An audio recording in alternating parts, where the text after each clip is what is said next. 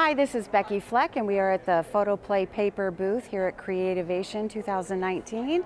And we would love to introduce you to our new Fish Tales collection. This is a very bright, vibrant collection that is perfect for your SeaWorld memories, your days at the aquarium, even your kids at the pool. It features a, a bright uh, color palette, lots of little uh, fish and under the sea little critters, this is our collection pack cover and it comes with two sheets of the 12 pattern papers along with one sheet of the element stickers. This collection also features ephemera die cuts, which are cardstock die cuts, our very popular Color Me papers, which are great for all mediums of coloring except watercolor, perfect for Copic and pencils. That seems to be what they're the most popular for.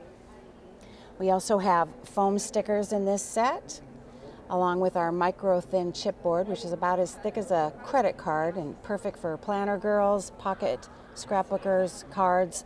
You get a lot of dimension with a little bit of profile. This particular collection, we had so many elements in it, we decided to do two stamps and die sets. We have the elements, which feature all of the cute little fish that are in the collection, and of course sharks. You can't go wrong with sharks. Everybody seems to love those. These are the 12 papers that are in the collection and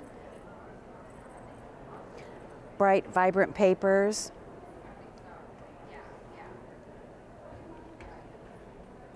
And here are a couple of projects made with this collection. This is a shaker card, which is really fun.